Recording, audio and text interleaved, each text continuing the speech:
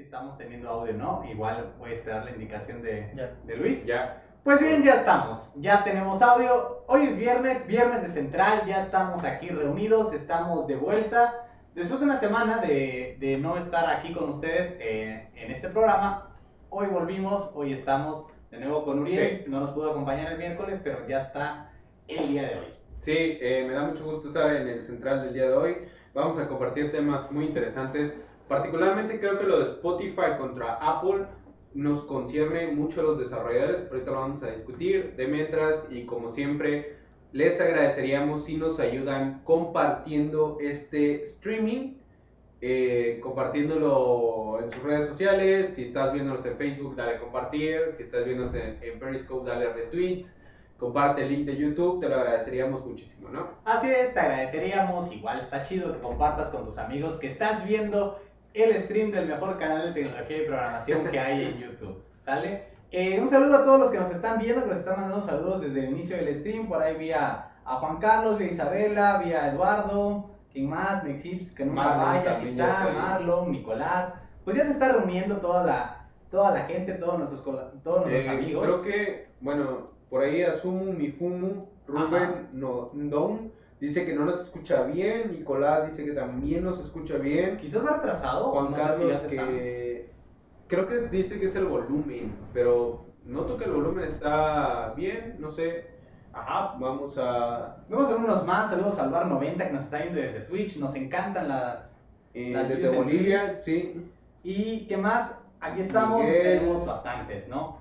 Juan Carlos Felizola, eh, muchas gracias por estar otra vez el día de hoy. Eh, Jacobo está en Periscope. Así es. Dice Marlon que en Twitch se escucha bien, pero algo bajo.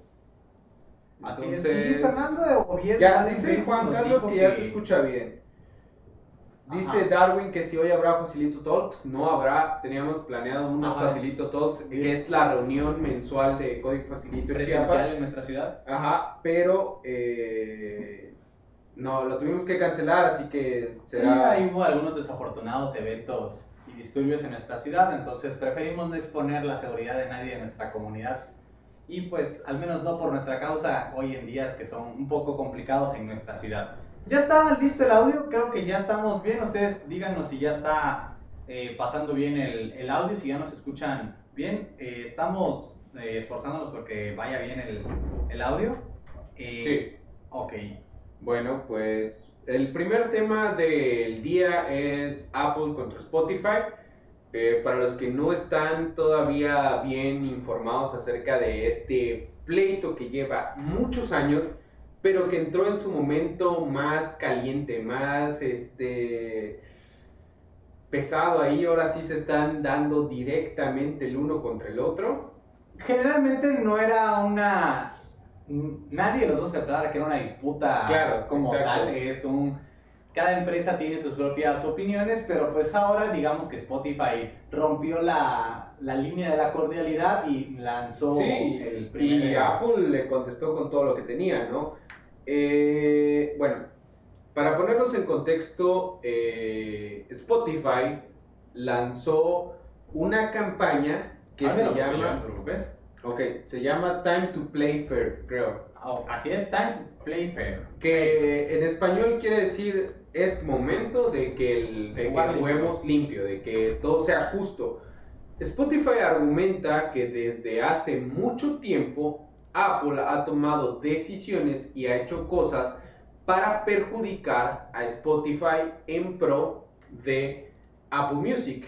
Lo que. Spotify eh, argumenta es que el App Store o cómo maneja Apple el App Store no está, no está dándole las mismas oportunidades a Spotify que las que provee para otros servicios, incluido por supuesto Apple Music, ¿no? Así es, ustedes pueden visitar el sitio que yo acabo de colocar en los comentarios de YouTube. No sé si nos puedes hacer favor Sí, de colocarlos sí. en las más redes. El sitio es eh, Time to Play Fair. Está complicado porque pues, el fútbol me ha acostumbrado a decir fair play a la inversa. Pero es al revés, es tiempo de jugar limpio en el cual lanzan su, su proclama, es decir, sus, sus cinco hechos o cinco maneras en las cuales eh, establecen que Facebook no tiene una conducta competitiva, una sana, Apple. una que Apple no tiene una sana competencia. Ustedes pueden visitar el sitio, pueden encontrar eh, algo que básicamente dividen en cinco maneras. eh, es que Apple tiene algo que ellos llaman el impuesto Apple, que es básicamente eh, en lo que ellos llaman un, un impuesto discriminatorio del 30%. Esas son las palabras que, que emplean. Y esto es, tú que nos puedes explicar más, Uriel, básicamente la Store se queda con el 30% de las ganancias que cualquier, no solo Spotify, que cualquier productor de contenido produzca en la o obtenga a través de la App Store. Si nosotros tuviéramos una aplicación en iOS y vendiéramos una suscripción a través de iOS, tendríamos que darle el 30% de las ganancias a, a Sí. justamente a Apple. Son, son dos cosas. Por un lado, si tú vendes algo a través del App Store, el correcto. 30% es de Apple. Así es. incluidas las suscripciones como Spotify.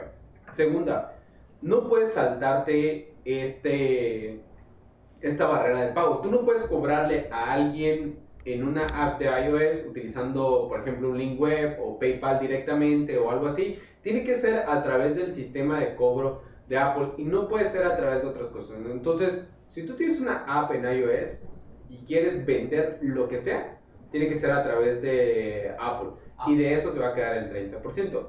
Después de cierto tiempo, Se se, reduce al queda- 15. se reduce al Yo 15%. te digo que es a partir del segundo año, me parece, si, si todo va bien. Básicamente Spotify le tiene que pagar a Apple por todo lo que está pasando y viene el asunto a debatirse, ¿no? Eh, otra de las cosas que, que sostiene Spotify a través de, de, de lo que maneja Apple es que no, no le ha dado facilidades para Sí. la actualización de su aplicación y para el sano desarrollo de su app dentro de su App Store. Es algo que ellos sostienen que ellos no están siendo abiertos en ese plano, que no le están dando facilidades para que eso pase. Sí, quienes tengan un Apple Watch quizás sepan Ah, o hasta- hayan notado que hasta Ujú. hace poco Spotify no tenía una aplicación para el Apple Watch, no funcionaba con el Apple Watch. Hoy Spotify argumenta que Siri no reproduce canciones de Spotify y que por supuesto el HomePod, que es el- la bocinita de Apple que...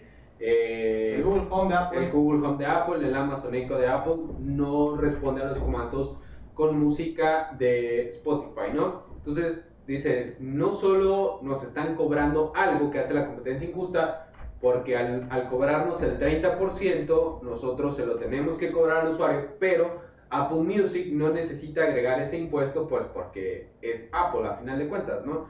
Eh, entonces, está ese impuesto y está las distintas trabas que han, eh, con las que han encontrado Spotify a la hora de desarrollar ya sea aplicaciones para los nuevos dispositivos, como integración con el ecosistema de Apple, incluido Siri, rechazar eh, actualizaciones de Spotify, que Spotify dice, ok, hay un bug, lo soluciono, pero meto una promo y Apple me lo bloquea porque no quiere que yo ponga promocionales en, en, en la app.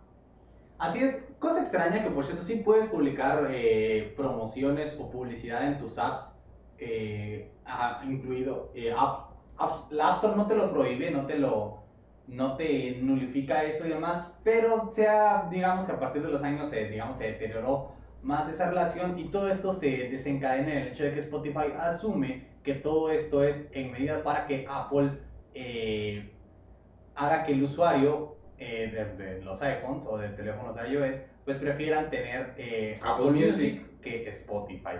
Eh, yo no tengo entendido cuántas personas que conozcan que tengan un iPhone usen eh, Apple Music. Tengo entendido que el nicho de mercado de dicha, de dicha app generalmente está basado en Norteamérica, es donde es muchísimo más fácil tener, este, eh, tener esa clase de, de, de mercado. No entiendo por qué. Eh, Spotify también tiene su mercado dividido en suscripciones que van ligadas a las compañías telefónicas. En plan, si ahorita, no sé, Telcel y AT&T dicen, te ofrecemos tu línea telefónica y te ponemos Sí. Spotify Premium ahí, de ahí obtienen la gran cantidad de sus, de sus suscripciones en teléfonos móviles. Sin embargo, Spotify sostiene que esto es únicamente para que no escuches Spotify en iOS, sino que seas eh, tendenciado a usar eh, Apple Music. Ahora está la otra parte. La, la otra parte de la historia es la que cuenta Apple. Y Apple dice, estas son las reglas del App Store y nosotros proveemos de la plataforma. le damos seguridad a la plataforma, a los pagos, confianza a los usuarios de que todo lo que pasa por el App Store ha sido revisado, cumple ciertas guías, es de calidad, es seguro, etc.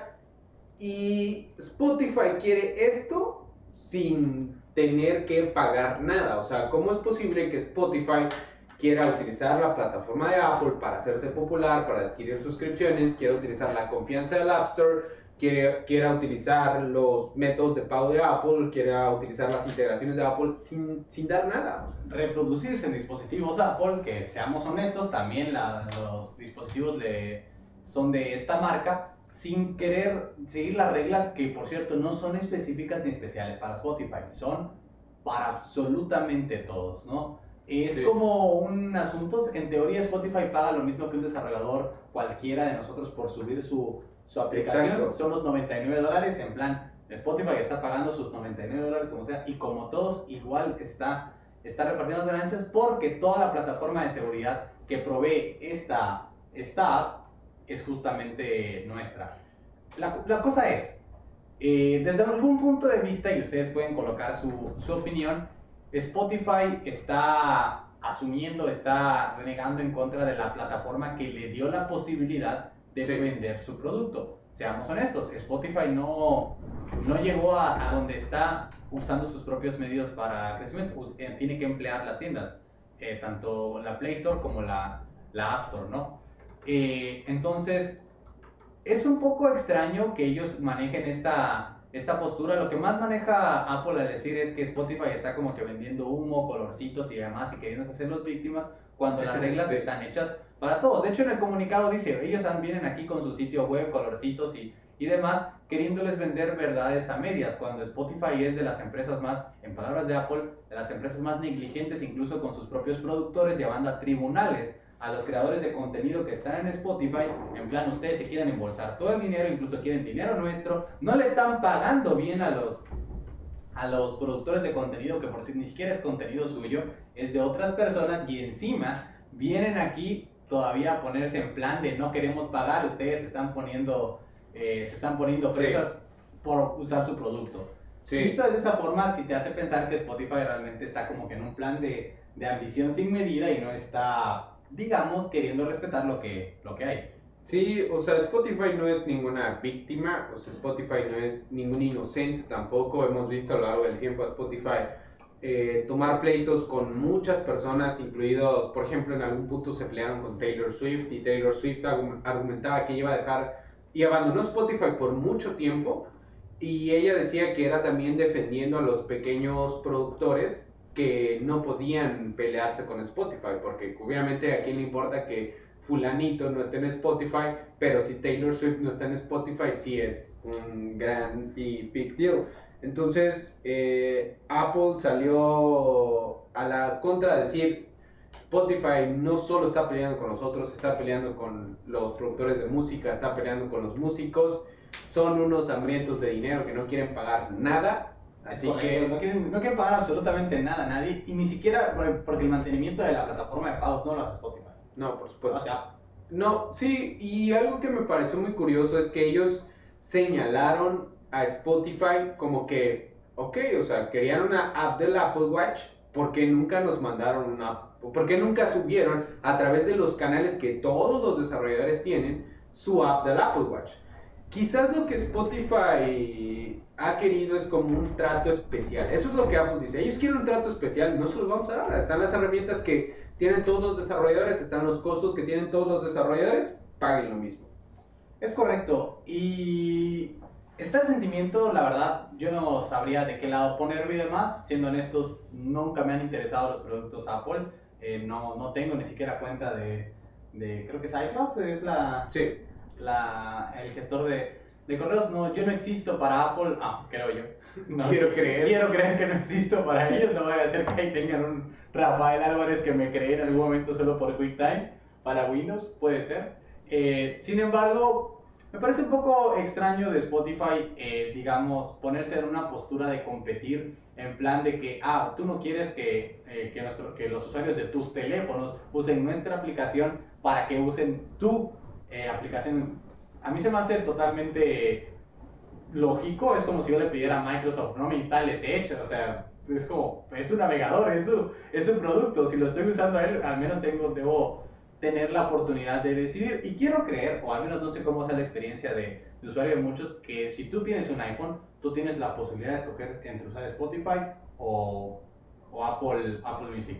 Todas las personas que yo conozco que, que tienen un este que tienen un iPhone generalmente usan Spotify. Sí. Nada les ha impedido descargar esa aplicación y suscribirse. Hasta Sí, pero pues por ejemplo, si tú, no sé, conociste Spotify a través del App Store y quieres subir a Premium, no puedes hacerlo a través de la app. Tendrías que buscarlo a través de la página web y nada en la app puede insinuarte que subas. Entonces es como pérdida para Spotify. Otra cosa que quisiera agregar eh, al Ah, final- no puede haber promocionales de premium Exacto, de nada, Spotify nada, sí. en la App Store. No puede, no puede haber un link que te lleve a su página web de Spotify para suscribirte. No, está prohibido. No puede haber promociones, no puede haber nada que insinúe pagos que estén fuera de la plataforma de Apple. Eso es la regla para todos. Pero algo más que me gustaría agregar a este debate es que esta no es la primera vez que Apple se pelea con alguien así. O sea, en, en otras ocasiones han habido aplicaciones que hacen cosas interesantes y luego Apple las integra en iOS y se va contra estas aplicaciones. Una de ellas es, y ahorita que vamos a hablar del modo nocturno, era una app que ponía como amarillesca la pantalla o en tonos azules, dependiendo de, de la hora del día, para que no lastimara tu vista. Después eso se integró en iOS y ya no de- y rechazaron la aplicación que antes lo hacía. Antes de iOS ellos ya lo hacían, pero como ya lo integraron en iOS, ahora está prohibido Hacer una hacerlo. aplicación de ese Exacto. tipo en la App Store. Entonces- Yo estoy de acuerdo, Apple no es un santo de mi devoción. Eh, creo que es un asunto de, de intereses, el cual golpea en ocasiones los, a los desarrolladores y nuestro... Sí, o sea... hace que muchos no quieran tener aprecio por las tiendas. Yo creo que, mira, cuando Apple inició, cuando el iPhone inició, esto no sé si muchos lo sepan, pero solo se podían crear aplicaciones, por supuesto, con Objective-C. Entonces vino Córdoba y Apple prohibió las aplicaciones con Córdoba y con PhoneGap. No se podían subir aplicaciones híbridas. Entonces lo llevaron a la corte. Y la corte eh, el- algún juez dictó que sí se debían de poder subir aplicaciones de híbridas con Córdoba para romper el monopolio.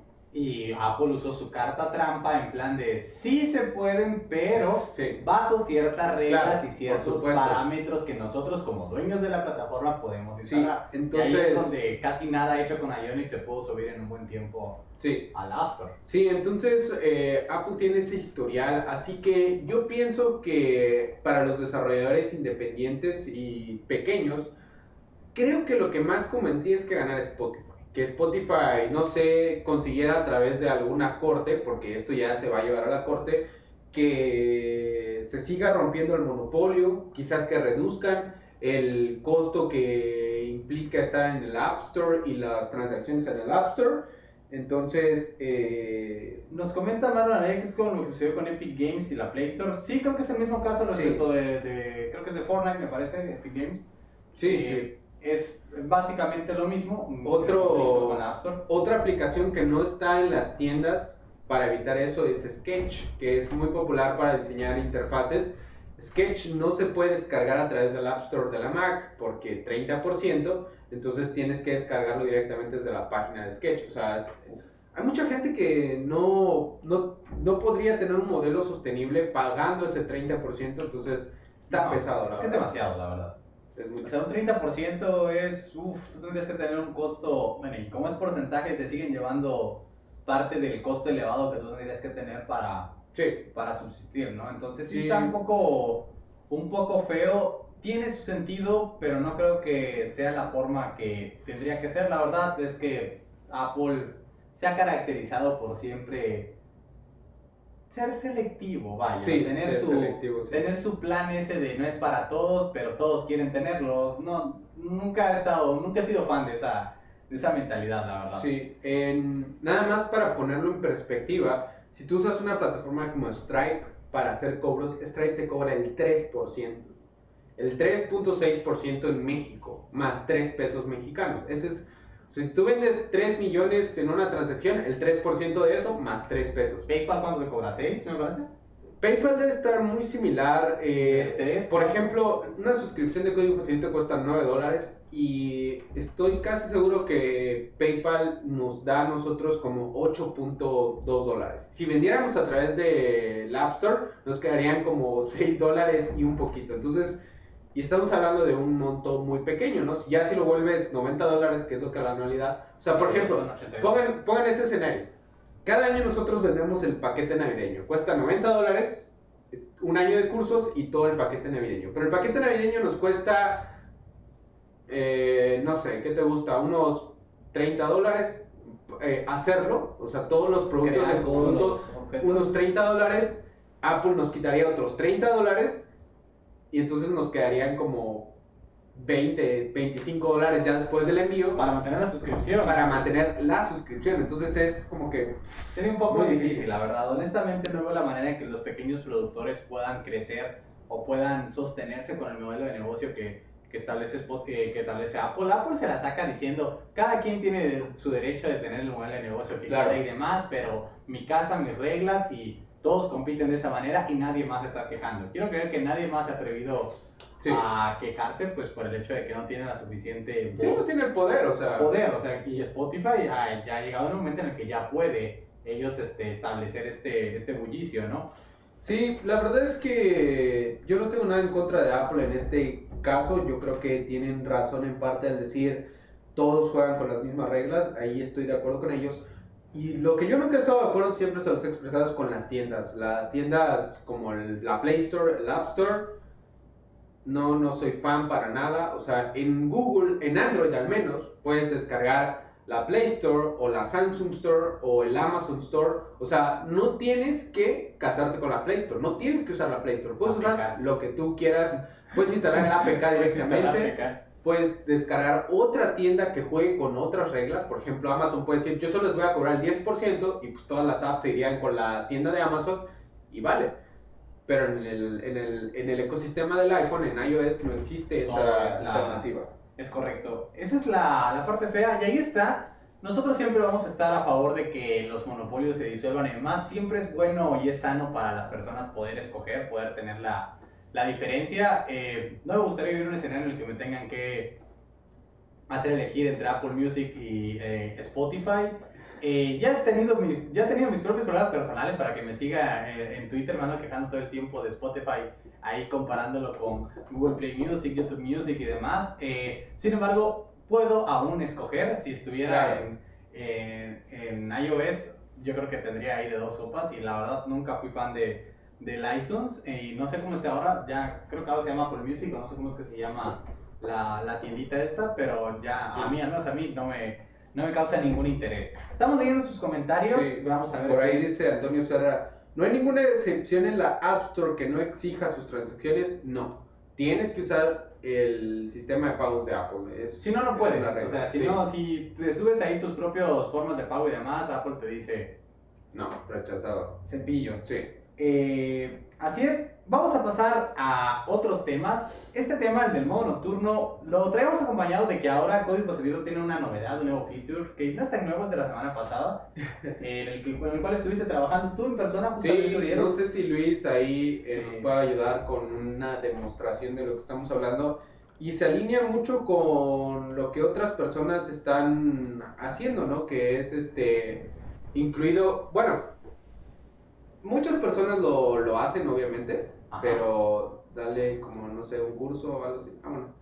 Muchas muchas muchas lo hacen Así es. eh, muchas páginas lo hacen tener, ofrecer esta oportunidad de transformar lo que es blanco y luminoso en oscuro y no tan luminoso para cuando estás en la noche leyendo, viendo contenido y eso no dañe tu, tu vista, ¿no? Ok. Ok.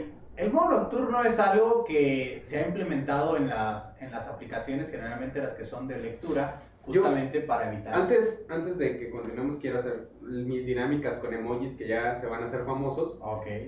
Si tú utilizas tu editor de código en tema claro, luminoso, blanco, gris, lo que sea, comenta un solecito. Si tú utilizas tu IDE o tu editor de texto en modo oscuro, comenta una luna para que veamos quién es el que gana, ¿no? Así es, y pues... ¿Decías? Ah, espérame, estoy colocando mi tema de lunitas. Soy- Uso el modo nocturno en casi todas mis aplicaciones porque me gusta mucho la, la paleta oscura. Sí, dale, dale Luis, ahorita Luis les va a mostrar de qué es lo que estamos hablando. Yo estoy buscando Go. el solecito porque yo muchas veces utilizo, eh, aquí está el solecito, solecini, ahí está. Ok. Bueno, ahí como pueden ver, eh, no sé si puedes entrar al blog o a los, al, al player o al reproductor. Ajá. Ahí activo el modo nocturno. Ahorita se ve porque cambió la barra de navegación, pero por ejemplo si entras a un curso pues ya es todo oscuro completamente. Eh, si entras a algún video también vas a poder verlo en, en modo oscuro. No sé si ahí puedas cambiar al modo claro. Eh, para que vean modo claro y pum, ahí ¡pras! toda la luz golpeando tu cara, ¿no? Claro, todos los pixeles y toda la lumi- luminosidad de tu monitor atacando tu vista y tu... Creo que hay más lunas. ¿no? Sí, Hay más lunas. creo que es un poco, poquito más popular. Eh, Luis Fernando siempre expone que ambas. Marlon, Marlon Araya pone un perro porque dice que no encontró la luna en Twitch. Encontró la luna en Twitch. Así que si estás en Twitch, comenta un perro si, si, si es oscuro y cualquier otra cosa si es claro. Un gato, ¿no? Je- Jesús, Manuel, Luis, eh, Juan Carlos, eh, Julián, Eduardo, Rafa, Ángelo, todos ellos, Wesley, todos ellos van con el modo oscuro en el editor, ¿no? Sí, de hecho, editor de texto, todo lo que pueda tener un modo nocturno yo lo activo. Eh, no lo hacía bajo la premisa de que tenía que cuidar mi vista y demás, honestamente. Solo sí, porque eres dark. Siempre me valió cacahuate, fue por el hecho de que soy darks y me, me gustaba, me gustan mucho las paletas oscuras, sin embargo, no todas. Sí. Llegó un punto en el momento en el que fui más este, intelectual, en el cual tenía que leer, ya sea tal vez mi celular, que sí tenía que implementar el modo nocturno forzosamente, porque sí había una diferencia y Sí. muy notoria. De hecho, hubo un momento, no sé si recuerdan, el año pasado, en el que creía que mi vista estaba peligrando aquí en el trabajo en la oficina y tu- tuve que bajar una extensión de Google Chrome, porque no hay una forma nativa de pon- perdón, de Google Docs, de ponerla en modo Oh, ya, nocturno. ok, cool. Y bajé una extensión ahí toda extraña, de dudosa procedencia, virus incluido, de- en el cual me, me colocaba el Google Docs en, en una paleta de modo nocturno. Por ahí dice Marlon que si es claro en Twitch que pongan un dorito y un perrito si es oscuro. Bueno, eh, el modo nocturno ahorita está muy de moda también porque macOS implementó el, el modo nocturno en todo el sistema operativo a través de, a, a partir de Mojave. Entonces seguramente la siguiente versión de Windows va a tener modo nocturno, es, siento que va a ser un. Microsoft y Windows ya tienen sus propias alternativas al modo nocturno, que no, ellos lo manejan como paleta o tema oscuro, no, no es como tal un modo nocturno, uff, cuidamos tu vista ya desde siempre, o sea, Ok, desde el Windows XP podías encontrar sus, Oh, sus modos darks, pero ahora incluso en Windows 10 sí tiene algo llamado total, eh, así con todas las letras, el tema oscuro, ¿no? ok, Que hace todas las variaciones en la oscuridad. Sí, eh, bueno, ¿qué pasa con el modo oscuro? Y, y esto es algo como eh, cultura digital. Cuando, cuando es la noche, eh, no se recomienda que estés utilizando pantallas con mucho brillo, porque esto puede, una, provocarte vi- vista cansada. Dos, alterar tu ciclo del sueño. O sea, algunos, sé de algunos que no les afecten nada, o sea, estar leyendo antes de irse a dormir, pero mucha gente tiene insomnio y dice, ah, ¿por qué no me quedo dormido? Pero están con el teléfono.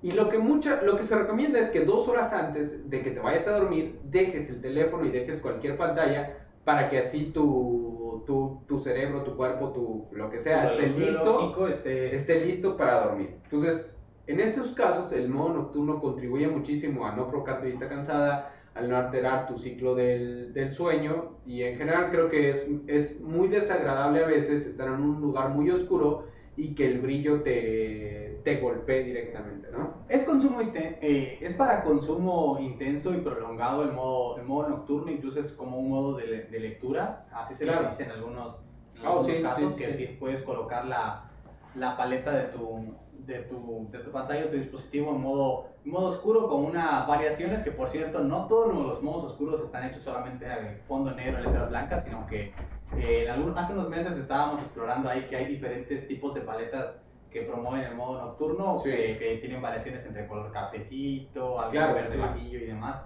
el cual cumplen su propósito sin necesariamente tenerle el mismo, el mismo tono de la terminal de Windows, que es negro y blanco, a secas. Sí, sí, sí. Está todo, está todo esto puesto allí para que uno lo tome.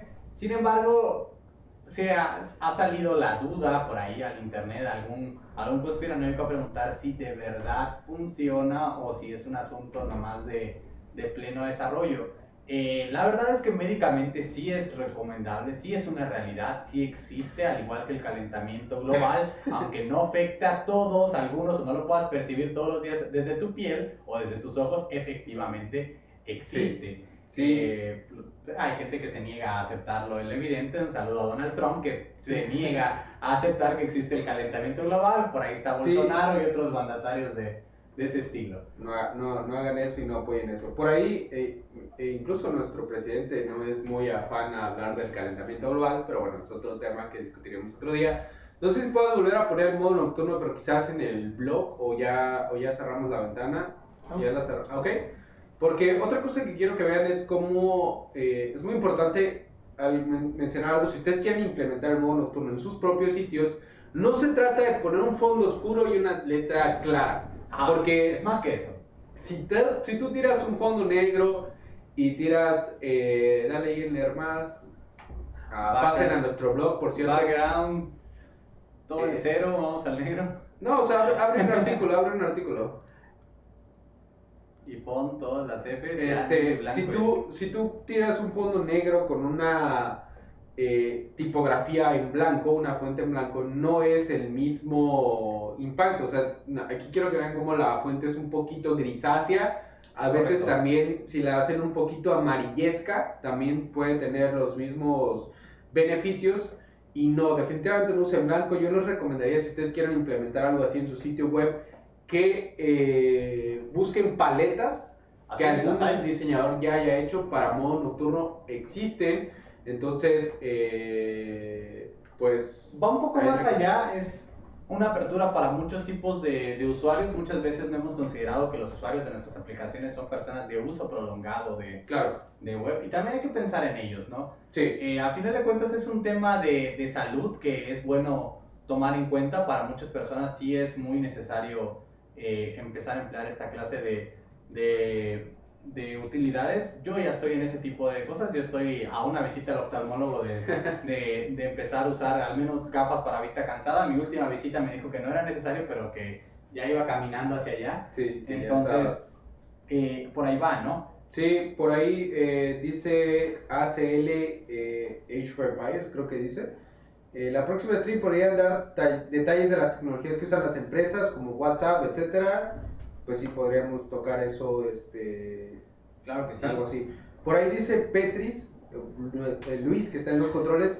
En iOS y Mac OS hay una opción Night Shift que vuelve café la pantalla. Eso es precisamente lo que otra aplicación ya hacía. Luego lo integraron en iOS y se cepillaron a esa aplicación. Eso es justo de lo que estaba hablando hace un momento cuando estábamos discutiendo Spotify contra Apple. Pero bueno, Sí, Microsoft también lo maneja ahí como luz nocturna en la parte inferior derecha de tu, de tu Windows, lo cambias y ya te lo, te lo cambia a una paleta oscurita y demás. Incluso si se puede apreciar Oh, con la cámara es porque la luz nocturna se apreció. Si yo tuviera la luz, eh, eh, la- el modo luminoso no, no pudiese Claro. ser cool. A- O sea, sí apreciado. existe en Windows ya. Y Exactamente. Antes no sé de que era mainstream. Antes de que Apple le pusiera nombre. Exactamente, antes de que Apple le pusiera un nombre, Windows ya pensaba en esas cosas para tú que eres un hater acerca de, de Windows. No soy un hater de Windows. avanza. Sería, sería más un hater de Apple. Ok. eh, pero bueno, el siguiente tema en la agenda. Ahí va. Lo que sigue son 30 años de la web. Hasta esta semana se cumplieron 30 años. El internet se Sí. convirtió en un treintón, oficialmente es un chaborruco, el tercer piso es el, es el chavorruco, y es por eso pues, que los chavorrucos ya crecieron. Iba a decir crecimos, pero no, apenas me acerco a los 26. Eh, con esta cultura y demás, básicamente una persona de unos 38, 39 años eh, tuvo la tiene la conciencia necesaria para haber visto toda la vida que tiene la web de por medio. Sí, es sí. un tema interesante. Al inicio tenemos un video muy bueno acerca de la, de la historia de HTML que pueden ver. Eh, si ustedes van al, al perfil de Twitter de Código Facilito, el tweet fijado es ese, es ese Sí, video. la historia de. HTML en dos minutos. Es creo. correcto, un video que hizo nuestro amigo Pato. eh, está buenísimo, la verdad, ese video.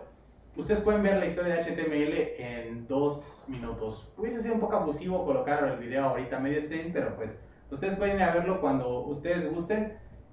Está interesante, ya cumplió 30 años este universo que ha visto nacer, crecer Y y morir.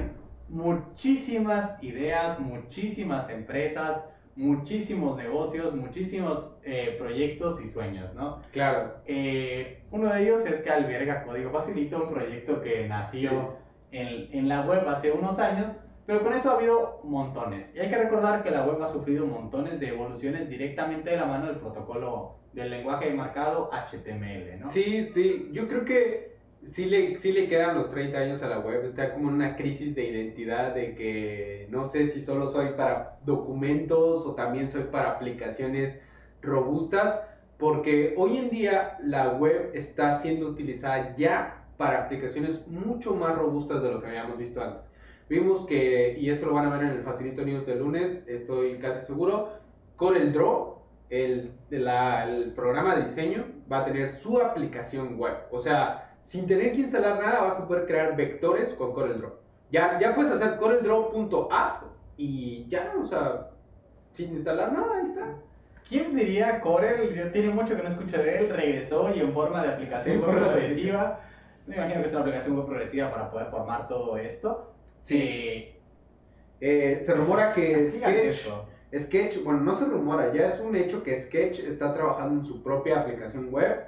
Eh, Figma es otra aplicación de diseño. Eh, ahorita no tengo el nombre, pero es una aplicación que les compartí que se llama Sound, algo así, que te permite hacer música desde la aplicación web. Eh, Google Earth es una de las aplicaciones más robustas del, que existen y Ah, es una aplicación web. Eh, son, son- cosas como edición de video, edición de música, edición gráfica, que tú decías, ok, eso solo Eso solo en el escritorio, vaya. Eso, 8 gigas de instalación, Exactamente. 8 gigas de RAM y no menos. No creo que tarde ahí en salir en la versión web de, de Photoshop. eh, puede ser que pase. Pero esto es excelente. O sea, ya básicamente desde tu navegador en internet podrás hacer montones y miles de cosas. La verdad, yo me sorprendo. La verdad, me sorprendo cada que entro, no sé, a aplicaciones como Canva que dices.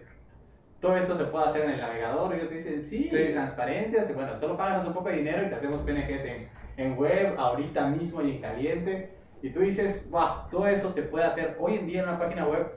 Y te viene el, el asunto nostálgico a decir, en mis tiempos, honestamente, en el web tú podías visitar una página y presionar unas teclas ahí con, con tecnologías flash para algunas cosas. Sí, yo recuerdo cuando me... eh, cuando uno de mis momentos que más me emocionó fue, con la web fue cuando se ponían poner bordes redondeados en CSS. O sea, eso fue como que... Wow, o sea, pongámosle bordes redondeados a todo, pongámosle sombra a todo, No más filtro a todo. puntas. Exacto, ajá. Vamos y a- ahora estamos hablando de cosas de verdad, o sea, no estamos a menos de 3 años o menos de 5 años de que Creative Cloud, o sea, Photoshop y todos esos estén para la web, se los aseguro que va a Ahora pasar. puedes hacer un navegador y llegar a un punto en el que las aplicaciones de escritorio son las que digan bye, quizás. O Sí, sea, tú vas a sí. necesitar de un navegador y ah, espero que no llegue el día en el que me cobren instalar un navegador. Nah, Pero pero lo que sí es que yo estoy viendo a las Chromebooks viéndonos desde lejos, así como frotándose las manos, eh, viendo a Apple haciendo más tonterías con la Mac y a, y a Windows no arreglando sus problemas y así está la Chromebook lista para reemplazarlos a todos. Porque bueno, como saben, la Chromebook, la laptop de Google y de Chrome. Eh, solo trae Chrome OS instalado, solo puedes ejecutar páginas web, pero el día que todo se puede hacer con páginas web, que ya lo estamos viendo, o sea, ya pues, una de las cosas por las que no puedes instalar... eh, y la Play Store gobernará el mundo. Sí, exacto, de verdad, o sea, la Chrome Store en este caso La Chrome Store. viene por todos nosotros. Pero bueno, tenemos una dinámica bonita. Sí, más o menos. Eh, voy a pedirle a Luis que eh, te demos recorrido a- para tus fantasmas del pasado. Marín Hernández, vas a vas a revivir y recordar un poco cómo era la web. Yo te voy a poner un screenshot, tú me vas a comentar qué significaba esto para ti o si alguna vez empleaste. Eh, eché mano de todos mis recursos nostálgicos que conozco de tu persona Bueno. para que te sumerjas en la web. Luis, por favor. Eso merita un poco de web. Un poco de café. Ok. Ok, cool. Lo que tú puedes, dile que ves en pantalla y te... Chale. Co- cosas de las que nos, de las que todos nosotros no estamos muy orgullosos, o sea, Exactamente. Yo estuve en Taringa, tú estuviste en Taringa. Sí. Tú descargaste algo. Tú que estás viendo este stream, lo hiciste alguna Sí, vez. tienes más de 20 más de- años, quizás. Más de 20 años seguramente. Eh, Hoy investigué si estaba vivo aún y aparentemente está vivo Taringa. Eh, pareciera que no, pero está bastante vivito. No como le gustaría a la mayoría, pero ahí está. Sí, no, o sea, a mí me encantaban las cosas de Taringa como pack de 2000 fuentes Es- para Photoshop y ahí instalabas 2000 fuentes que nunca ibas a, A conocer. a conocer todas. No ibas a utilizarlas, pero ahí estaban, ahí podías encontrar el acceso a toda, a todo la- lo que necesitabas en aquella época.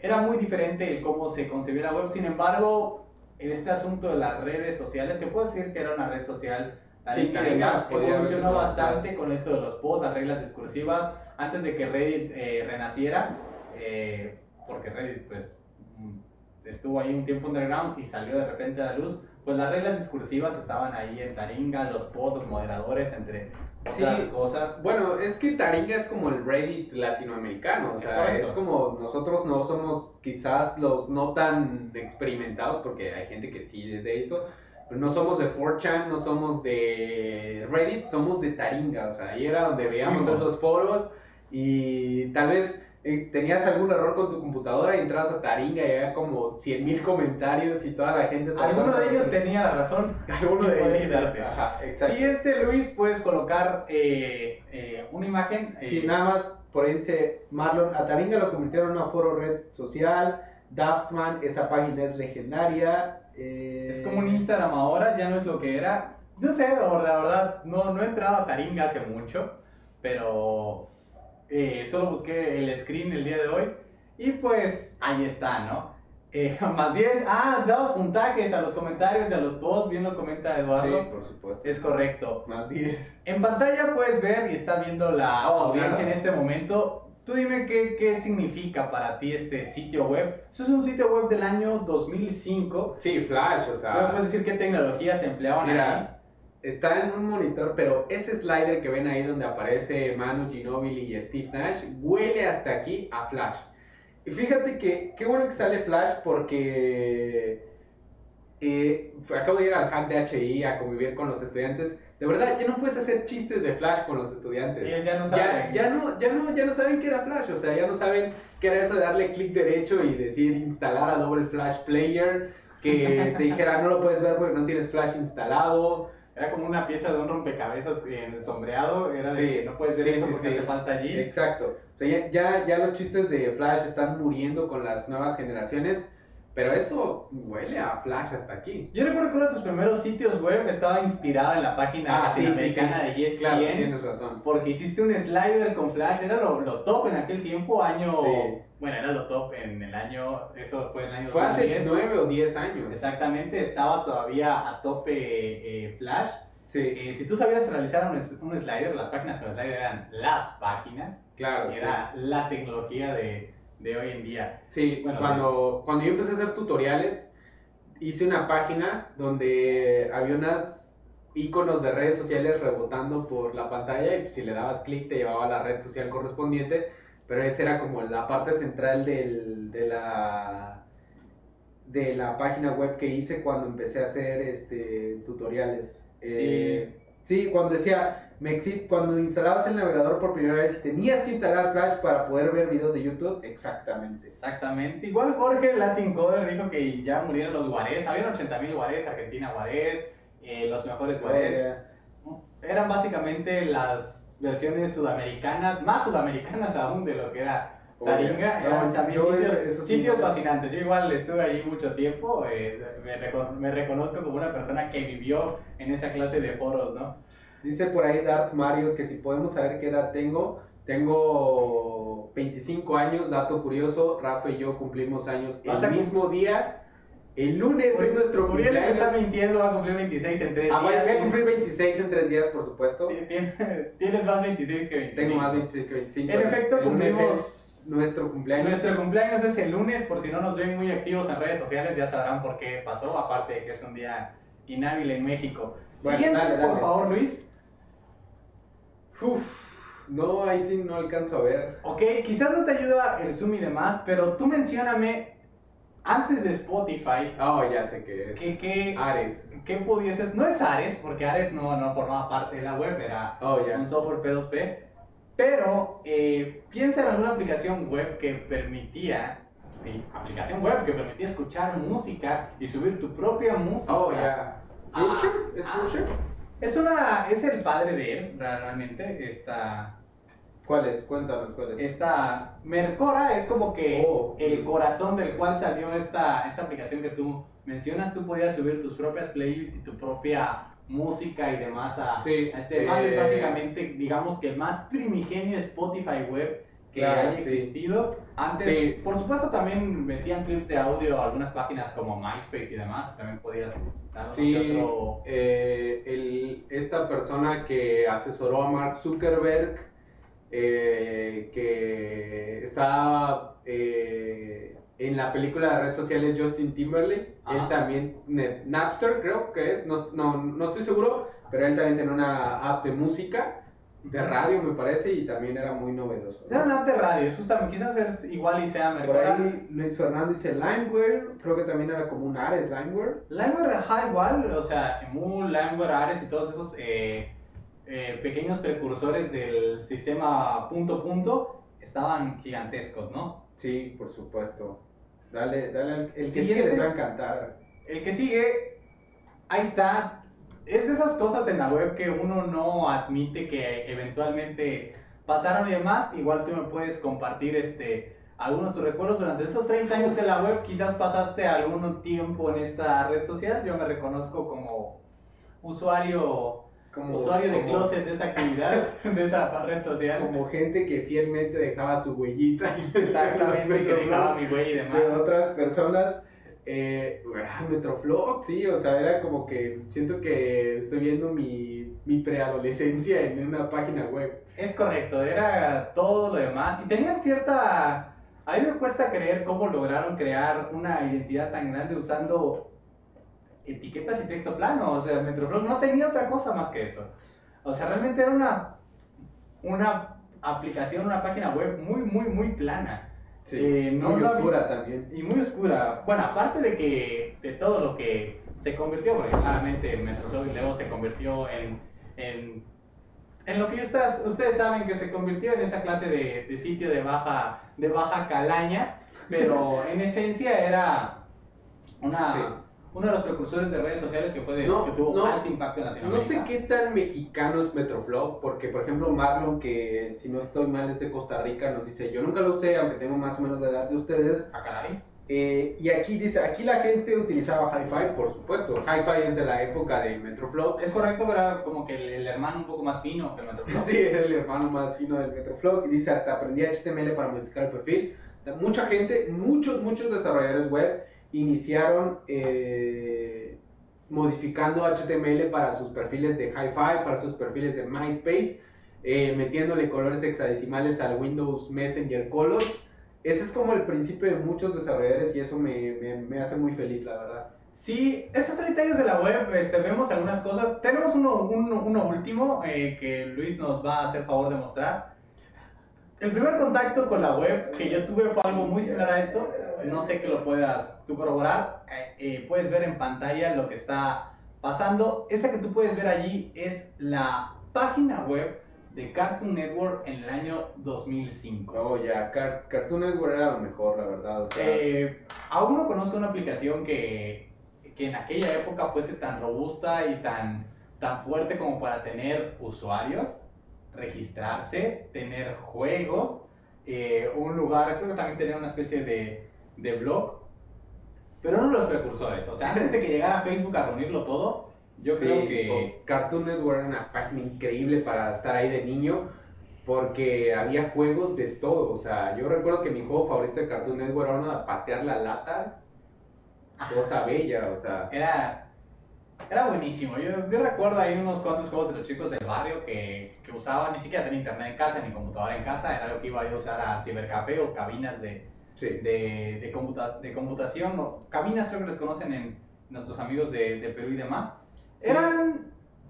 Los pongo aquí, quizás eran algo que tenían que, que tienen un poco que ver más con nuestra, nuestros inicios en la web, pero es un poco de la evolución, de cómo ha ido pasando algunas tecnologías. Tienen diferentes intereses, diferentes campos, pero la web Sí. ha evolucionado montones. O sea, en aquel tiempo, si, yo, si nosotros evaluásemos la velocidad o el rendimiento de esos sitios web con uno, con uno ahorita hecho en Wix, o sea, así nomás para quienes los discriminen, eh, es gigantesca la diferencia. Realmente eran, digamos que, lentos, pero la tecnología que se ha ido empleando ha ido evolucionando en manera en que todo, todas las ideas, tanto del pasado como las de ahora, se hacen posibles gracias a, a la web, ¿no?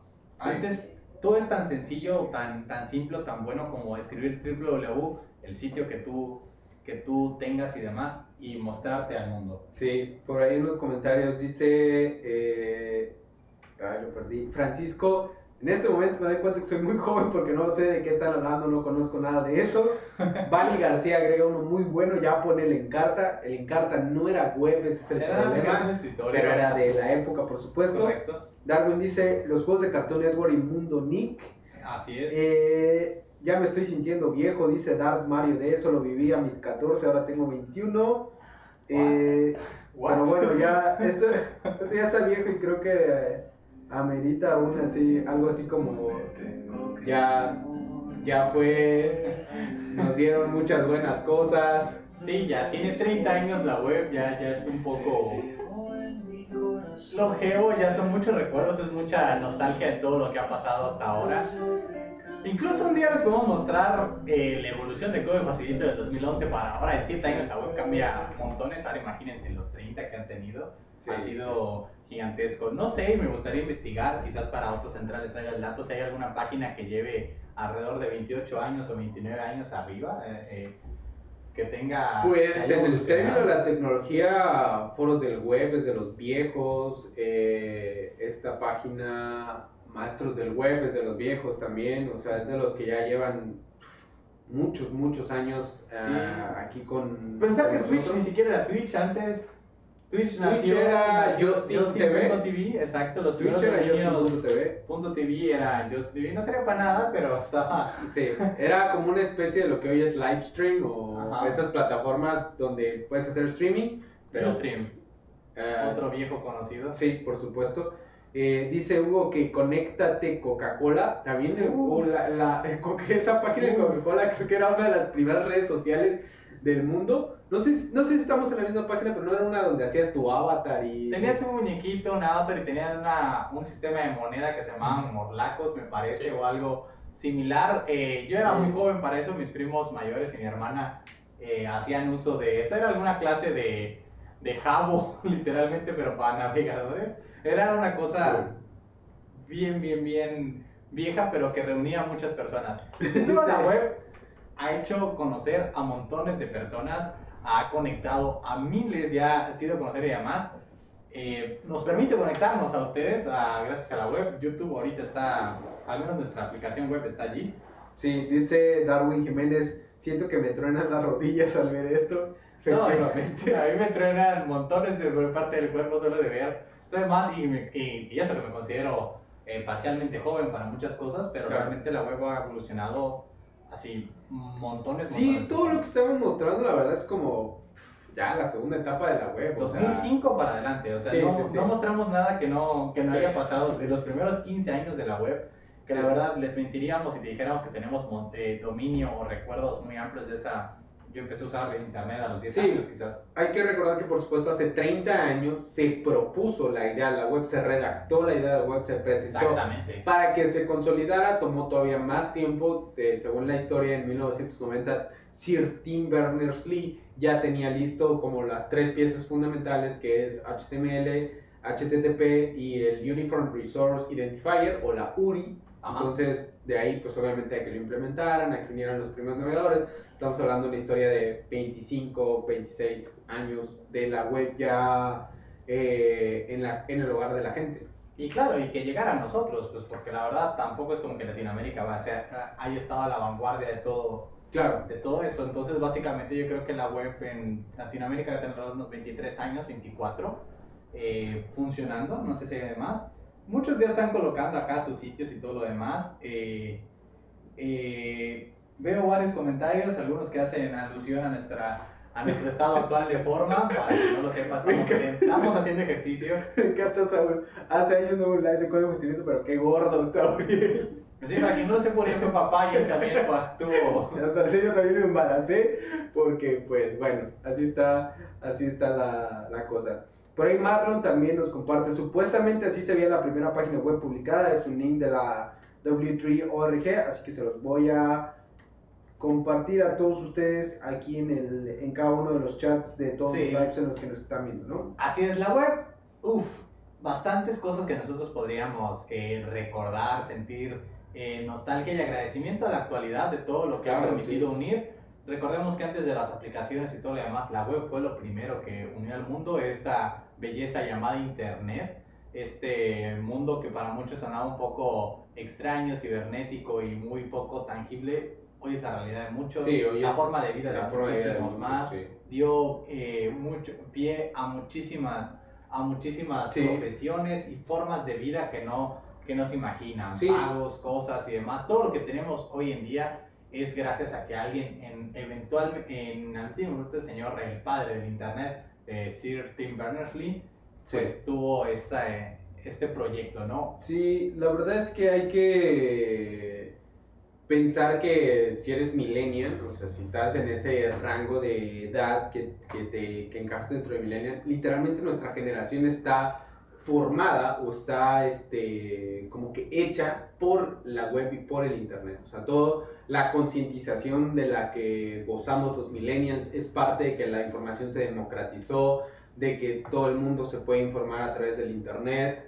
Eh. Parte de que seamos a veces que queramos recompensas inmediatas es también el internet, es también la web. Entonces, es como que importantísimo lo que- de lo que estamos hablando de estos 30 años de la web. Sí, incluso para muchos historiadores eh, se le conoce, ahora se emplea esto como un periodo de tiempo eh, trascendental, como la era del Internet. Es Sí, decir, sí, como sí. tal cual fue un momento de la revolución industrial, después la era de la, electricidad, ahora es la era del Internet. Hay un antes y hay un después. El mundo no ha sido el mismo, las cosas funcionan diferentes. eh, la forma en la que se conocen personas, se lleva a cabo y se comparte el conocimiento es totalmente distinta gracias a la web. Eh, gracias a la web podemos nosotros estar eh, en, en sus pantallas justo ahora, saludarlos, conversar, leerlos y tener una comunidad. Todo esto gracias a la web y el internet mismo. Sí. Eh, dice Darwin, de hecho Bill Gates regañó a Tim porque no patentó la www, pero dijo que era para la sociedad. Si lo hubiese hecho todas aquellas personas que crearon una página web le pagarían a Tim. Sir Tim Berners-Lee es una de las personas a las que sí puede uno tomar como ejemplo y no porque haya regalado su trabajo, sino por toda la filosofía que puso detrás de la de la web. Claro, Eh, que quería conectar al, al mundo y comunicarlo, ¿no? No, es más o menos lo que yo entiendo de su mensaje, Claro, además, no digo por que lo haya supuesto. dicho textualmente él. Eh, Bill Gates es para muchos el, el logotipo del quiero más dinero. Eh, agradecemos que todo esto existe y que no le tenemos que pagar a nadie. Es una de las bellezas más grandes de la web, que la web es totalmente libre. Eso a veces trae eh, algunos, trae algunos conflictos, pero sin embargo, usada responsablemente, todo, todo, todo está perfecto. Sí, y bueno, con eso nos vamos a despedir. Por ahí agradecerle a Dart Mario D y a Marlon Araya que en Twitch están platicando de lo mucho que les gusta Central. Dice Dart lo mejor de la semana. Marlon me gusta tanto que mi novia se enojó porque no le contesté por estar viendo live. Dis- Una, una disculpa grabada a la novia de Marlon. De verdad, esto es semi trabajo, así que entra en la categoría de de estoy trabajando, así que eh, si, si esta, esta que sirva como un mensaje para que corroboremos que pues todo estaba, estaba bien, o sea, que, que, Paz. que el Muestra buen los Marlon... últimos minutos del, del central en YouTube. Gracias a todos por estar aquí el día de hoy, gracias por acompañarnos en el live. Gracias por eh, ayudarnos a celebrar el 30 aniversario de la web, web que vio nacer Código Facilito y que gracias a ella está llegando a ustedes, que este proyecto se hace realidad, es vigente, pues uno entre muchísimas más ideas que gracias a la web están. Gracias a todos por seguirnos en todas las redes sociales, en todos los, los canales que tenemos de streaming. Los esperamos la próxima semana, tenemos webinars interesantes los miércoles, eh, también tenemos otro central Sí. el próximo viernes, Facilito News los lunes y muchísimo más contenido en diversos eh, canales durante toda la semana. Sí, recuerden que esta semana actualizamos el curso de Docker, así que eh, pues pasen a, a ver códigofacilito.com diagonal curso diagonal Docker para que aprendan. Docker. Ajá. Hay orquestadores, hay muchas cosas interesantes en el curso, así que pasen a verlo y muchas gracias a todos por venir. Hasta la próxima, nos vemos.